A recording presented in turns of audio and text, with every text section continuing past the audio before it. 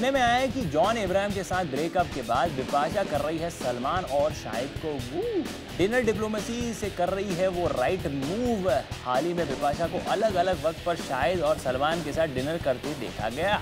Rumour तो ये भी है कि कुछ समय पहले शाहिद और बिपाशा एक दूसरे को डेट कर रहे थे।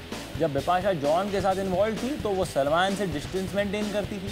लेकिन now when John is out of her life she decided to mend her fences with Salman and put her career back on track let's hope that the Bengali bombshell has a blast both on the professional and personal front Bipasha समझ गई है सलमान का मोल इसलिए खिला रही है उसे माछेर झोल शाहिद के साथ नहीं है उसका कोई goal she is just being the balm to his lonely soul we hope that Bipasha अपने करियर के साथ साथ अपने पर्सनल लाइफ में भी तुम्हें मिल जाए कोई अनमोल Hi, this is Simi. Follow Zoom TV channel on Daily Motion and zoom into fresh Bollywood news and entertainment.